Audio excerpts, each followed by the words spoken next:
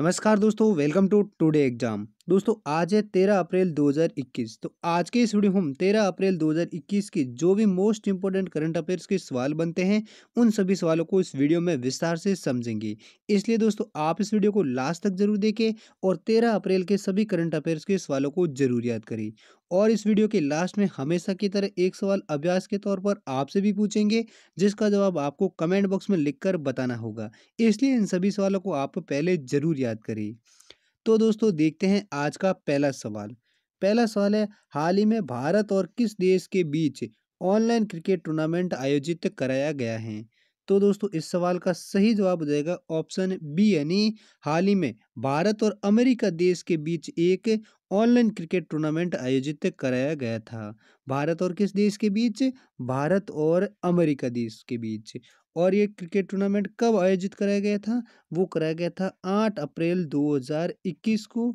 ये live stream की तरह, के तहत इस टूर्नामेंट को आयोजित कराया था, जिसमें अमेरिका देश है वो भारत को तेरह रन से हराकर इस मैच को जीता था। किस देश के बीच किया था? वो किया था भारत और अमेरिका देश। और ये कौन सा मैच था? ये एक ऑनलाइन क्रिकेट टूर्नामेंट आयोजित कराया गया था। इसी प्रकार अगला दूसरा सवाल है, किस महान कवि की तपस्थली का नाम महबूबपुर से बदलकर पारासोली किया गया है? तो दोस्तों, इस सवाल का सही जवाब हो जाएगा ऑप्शन डी, यानी हाल ही में प्रसिद्ध कवि सूरदास जी की तपस्थली है, जिसका नाम था महमूदपुर जिसे अब बदलकर राजस्व रिकॉर्ड में परासोली कर दिया गया है।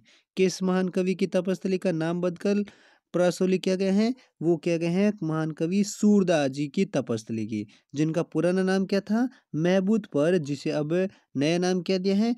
परासोली नाम दिया गया है। और ये किसने दिया था? वो दिया था राजस्व विभाग ने दिया था, जिसका नाम अब हो जाएगा परासोली, जिसका पुराना नाम था महबूदपुर और ये किस महान कवि की तपस्थली थी? वो थी महान कवि सूरदास जी की तपस्थली थी। इसी प्रकार अगला तीसरा सवाल है, किस राज्य में दिव्यांगों के लिए निःशुल्क पचास किलोमीटर यात्रा की घोषणा की है?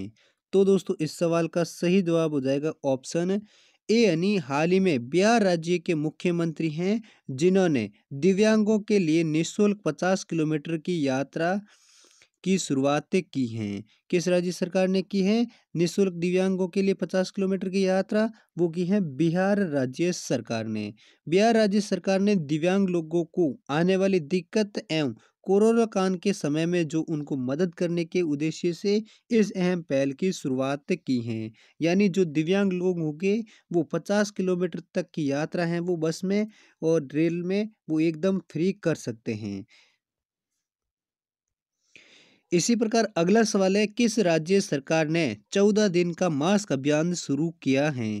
तो सवाल का सही जवाब हो जाएगा ऑप्शन डी, यानी हाल ही में उड़ीसा राज्य के वर्तमान मुख्यमंत्री नवीन पटनायक हैं, जिन्होंने चौदह दिन का मास्क अभियान शुरू किया है।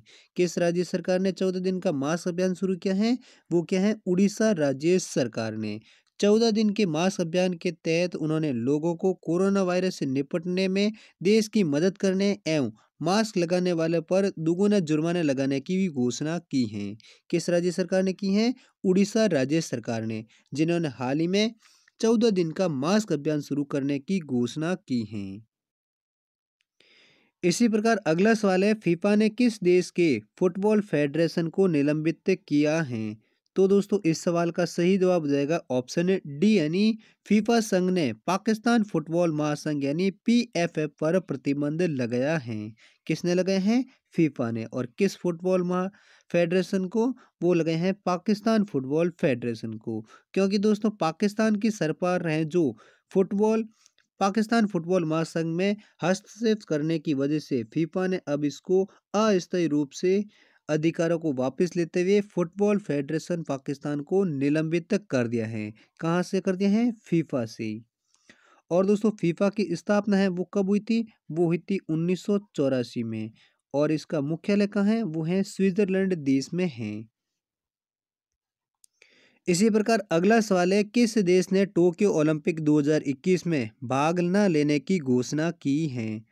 तो दोस्तों, इस सवाल का सही जवाब हो जाएगा ऑप्शन ए, यानी उत्तरी कोरिया देश है जिन्होंने हाल ही में शुरू होने वाला टोक्यो ओलंपिक 2021 में भाग लेने की, न भाग लेने की घोषणा की है। यानी उत्तरी कोरिया देश हैं जो और टोक्यो ओलंपिक 2021 है, उसमें भाग नहीं लेगा।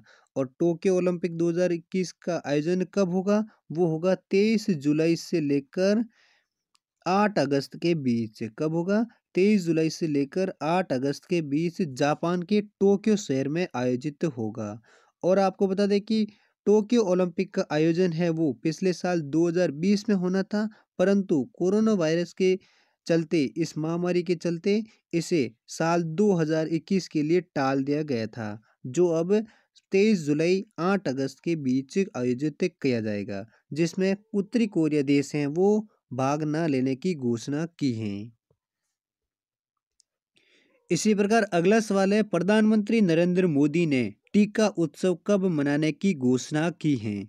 तो दोस्तों, इस सवाल का सही जवाब हो जाएगा ऑप्शन बी, यानी 11 अप्रैल से लेकर 14 अप्रैल तक प्रधानमंत्री नरेंद्र मोदी जी ने टीका उत्सव मनाने की घोषणा की है।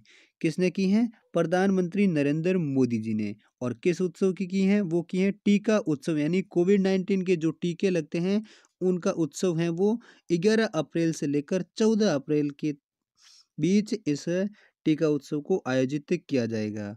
क्योंकि, और ये वर्तमान में कोविड नाइन्टीन टीकाकरण अभियान है वो महाराष्ट्र, गुजरात, राजस्थान जैसे राज्यों में चल रहे हैं, जिसमें प्रमुख कोवैक्सीन और कोविड शील्ड जिसमें दो प्रमुख कोविड नाइन्टीन के टीके लगाए जा रहे हैं।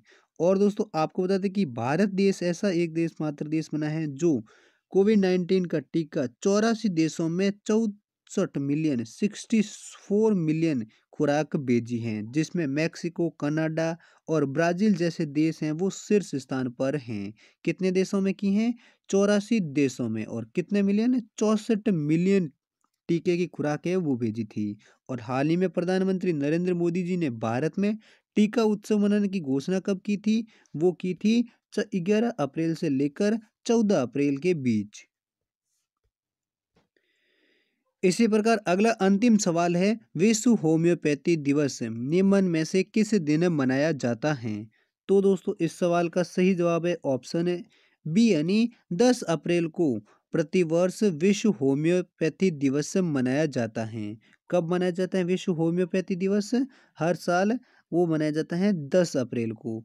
क्योंकि दोस्तों, होम्योपैथी के जनक माने जाने वाले जर्मन मूल के ईसाई फैड्रिक सैमुअल हेम्यूमैन हैं, जिनका जन्म है वो 10 अप्रैल को हुआ था।